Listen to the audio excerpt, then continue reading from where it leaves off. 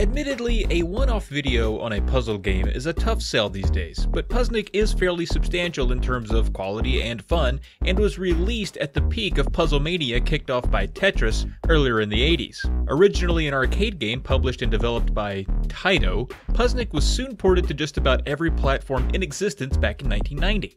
In fact, the game is a combination of Tetris, which I covered all the NES versions in this video here, and another lesser known game, Sokoban, popular on PC in Japan where players push crates and boxes around a warehouse to solve puzzles. So what's up with Puzznic on the NES?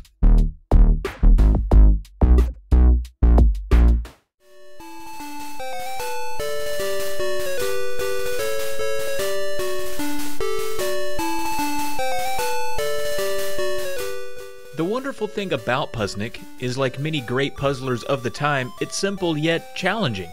The point of the game is that you must rid each map of all the pieces. The way to do this is highlight and drag identical pieces to each other and touch them together.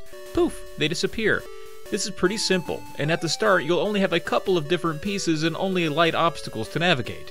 The wrinkles add on as you go though, for instance, if there are three of the same pieces on the board, you have to touch all three together at the same time. If you touch two together, they'll disappear leaving you with one left over and no way to win, so you'll need to get clever. Different kinds of pieces will be added as you go, usually denoted by a different symbol or color. Failure isn't the end of the world here either. You get a password each time you fail that takes you right to that level, so you won't be asked to repeat any puzzles you've already completed. But you do have a timer, and you have three retries with that timer. You have unlimited continues, but there are 160 puzzles to solve here, so that password feature comes in quite handy. If you're into high scores, you can try for bonuses by completing puzzles under a certain amount of time, or how many blocks you can match at once but as you might expect, points mean very little in terms of actually finishing all the puzzles. There are multiple ways Puzznic tries to trip you up. Some blocks move up and down or left and right for you to push the puzzle pieces on for solving the puzzles. You might have to use those to separate your blocks so they don't touch before you want them to. Timing your piece to land on the moving blocks is less challenging than you might imagine, but the controls are fluid and intuitive for this type of game. But that's just Puzznic. There's another game here, Gravnic. Why did Puzznic get its name on the title and Gravnic get completely ignored? Was Puzzgrav taken or GravPuzz? A lot of folks don't know that Puzznic is a two-in-one deal on puzzle games, and Gravnic is just as fun, if not even a little bit easier. Think of the playing space of Gravnic as you holding these pieces on a board on your lap. And if you tilt the board to the right, all of the pieces slide up against the side.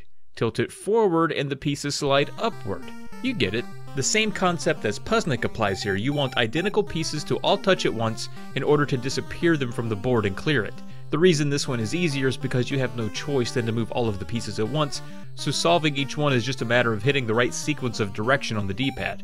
It's simple, but that's not to say it isn't fun or even a little challenging. The further you go, the more complicated it gets, and I'm always amused at how clever puzzles can get in games like this. Thankfully, Gravnic doesn't have a time limit, but they go by so quickly it doesn't really matter. You do have a fixed number of moves though, so you can't just go sliding the board around all willy-nilly forever. Like Puzznic, Gravnic also has a password for getting back to where you left off.